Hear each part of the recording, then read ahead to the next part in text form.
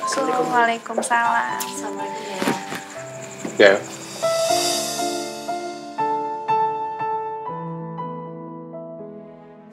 Saya bisa bicara sebentar.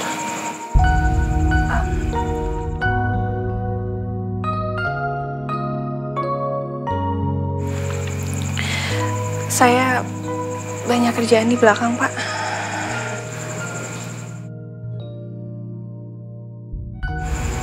Deo, kerjaan tuh bisa nanti. Eh, Mas Raffi mau ngomong sama kamu.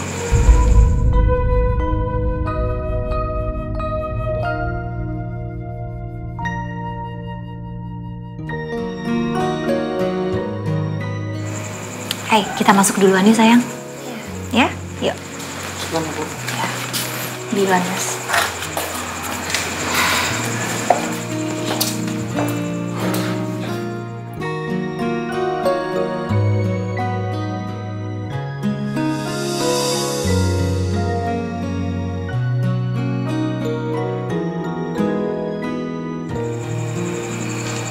Ada apa, Pak? Dewi, saya merasa belakangan ini kamu berusaha menjauhi saya. Ada apa dia? Kalau saya ada salah, tolong jelasin sama saya.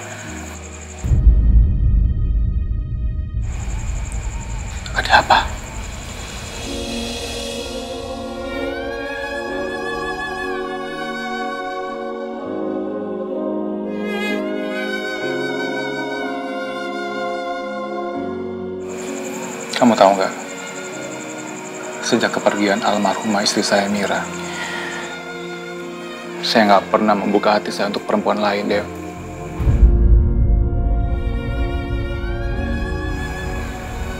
Tapi sejak saya ketemu kamu, kamu merubah perasaan saya.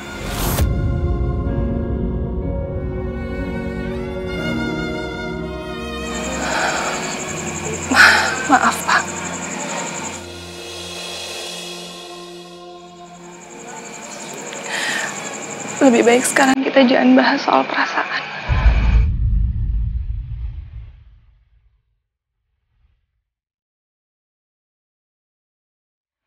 Loh kenapa dia?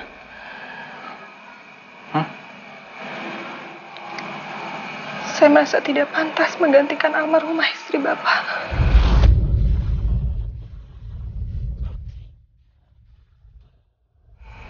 Kenapa enggak?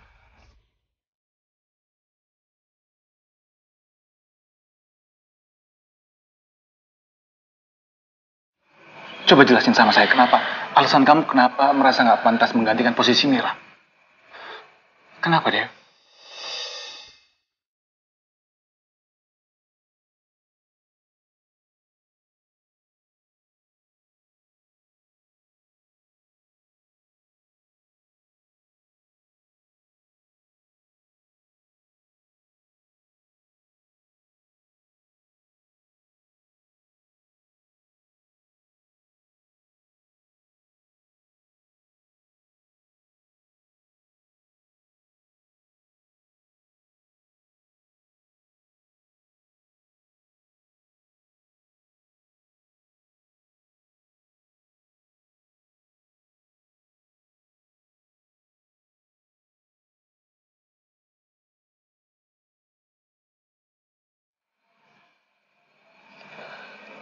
Saya nggak bisa menyimpan kalung ini, Pak.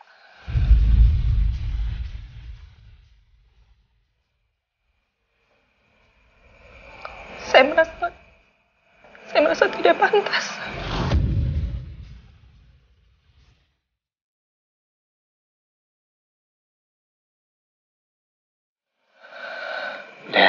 Tapi kalung ini milik kamu, Del.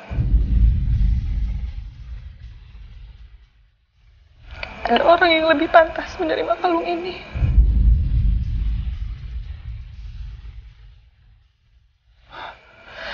Enggak, saya tulus memberikan kalung ini buat kamu, Del. Pak, tolong. Tolong terima.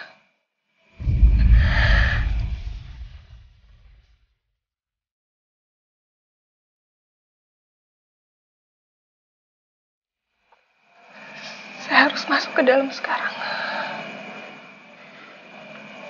Saya nggak mau yang lain kelamaan nungguin saya.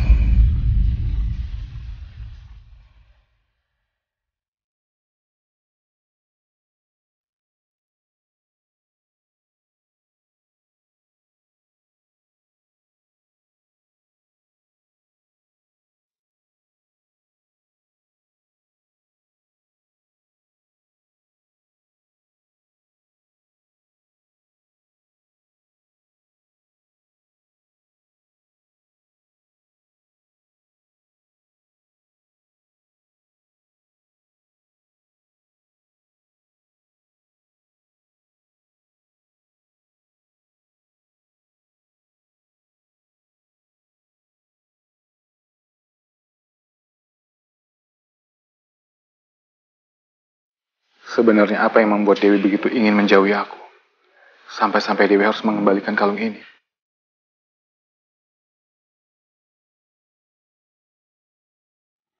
Nah itu, betul dah.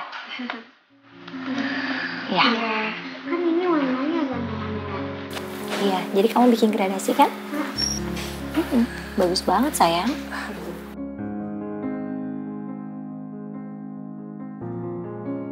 Dewi?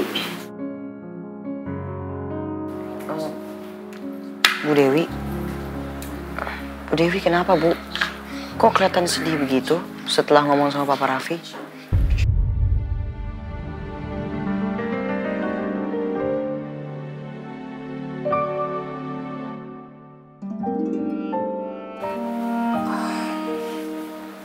Gak apa-apa Ilham. Bu Dewi cuma Ingat sa Manisa.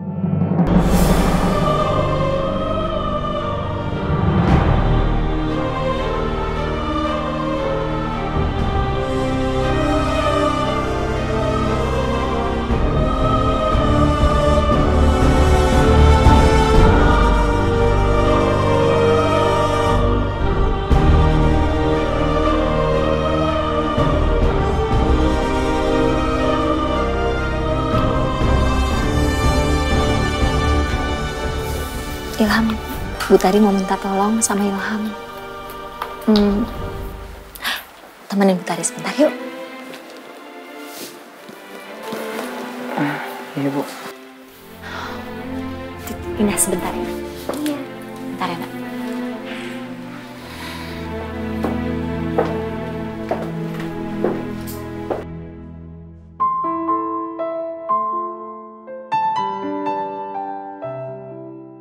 Sepertinya ada masalah antara Dewi sama Pak Raffi.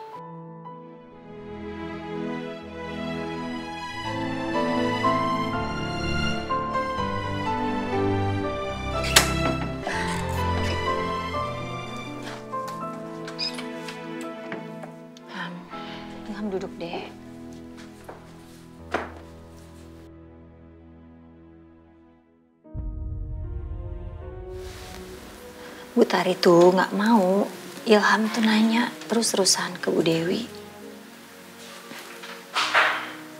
Bu Tari nggak mau Ilham sampai membicarakan tentang hal itu sama Bu Dewi. Kenapa Bu?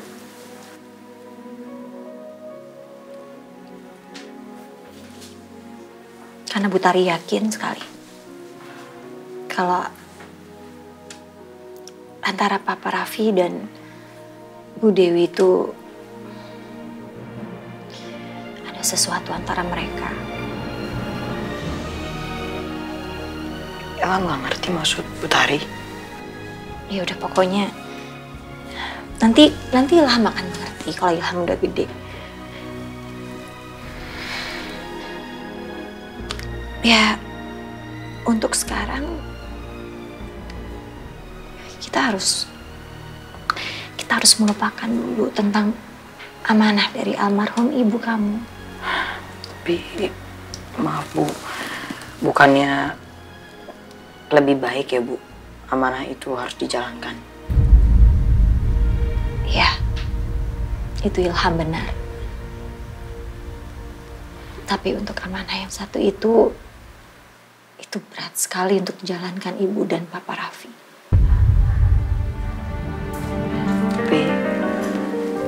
Ilham kan pengen kalau Butari itu Siapa? Aku tar. Oh. Iya Mas Raffi, masuk aja Mas. Ham? Eh, kita harus pulang sekarang. Soalnya papa nanti malam ada meeting. Yuk. tapi Hmm? Ilham Nggak apa-apa. Em, Nggak apa-apa. Kita kan besok ngobrol lagi. Ya, sekarang pulang dulu. Kasihan nanti Papa Raffi telat meetingnya. Ya kan? Yuk, kita berangkat sekarang. pulang duluan ibu. Iya. Ntar aku berangkat ya. Ya, aku anterin ke depan sekalian.